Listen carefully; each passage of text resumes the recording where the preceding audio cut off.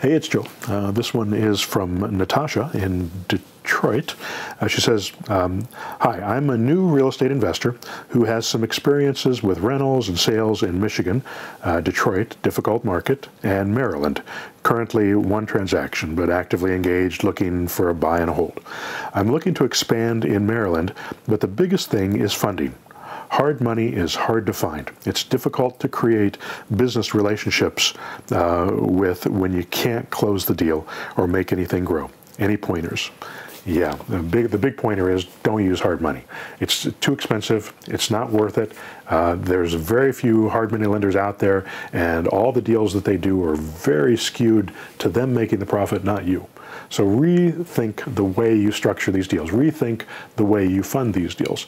And if you look at it from the seller financed zero down structures that I teach, it'll change the whole ballgame.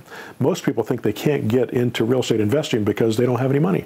Say, oh, if I only had money, I'd have all these great deals but they don't because they don't have any money. They, they can't make it work. So you got to start somewhere. You got to start, and, and even if you have money, you should be doing it without money. Because if you have money, eventually you're going to run out of money. You know, no, whether you have ten thousand dollars or a hundred or a million or ten million, it doesn't matter. Eventually, you're going to run out of money and you're going to be out of business. So you, you know, you, it's all going to be put into properties.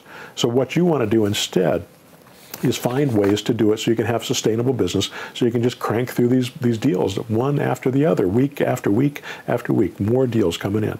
And that's what the system like the auto marketer does. That's what my the push button method does. That's what uh, what I teach my mentor students. Uh, so if you get in uh, to learn, if you learn those processes, if you get in that process going, uh, then you'll be able to do as many deals as you want. In Maryland, high-end markets, low-end markets, fast-moving markets, slow moving markets, declining markets, appreciating markets, it doesn't matter. We've used these same systems in all those different types of markets. So it doesn't matter whether you're doing $5,000 properties in Detroit or you're doing $700,000 in DC.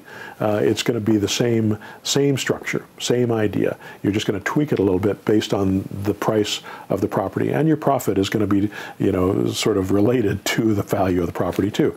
You know, on a $5,000 property, you may make only $5,000 if you turn around flip it, although I've made more than that on those types of deals.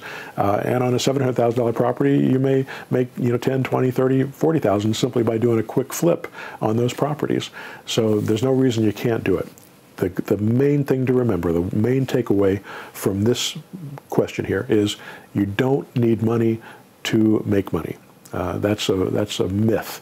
If you can't make money with no money, you're not going to be able to make money with money. So learn how to make money without using your money. Learn how the zero down structures work, and then learn how to do marketing that brings in zero down sellers, uh, zero down leads, and that's what the auto marketer is all about. Constantly bringing in new zero down leads, whether it's through uh, the for rent method, whether it's through absentee owners, whether it's using some other of the techniques that, that we've been using and that I teach.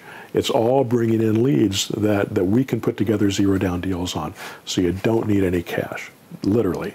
Zero cash, no investment money to make these things happen. I know it sounds crazy to people that have never done it, and it's hard to get your head around it if all you've been doing is looking for, for, for hard money, but it's possible. Uh, just look at some of the, the uh, videos from some of my students that are on this site, uh, and uh, I think it'll give you a pretty good idea uh, that we can do it. All right, thanks.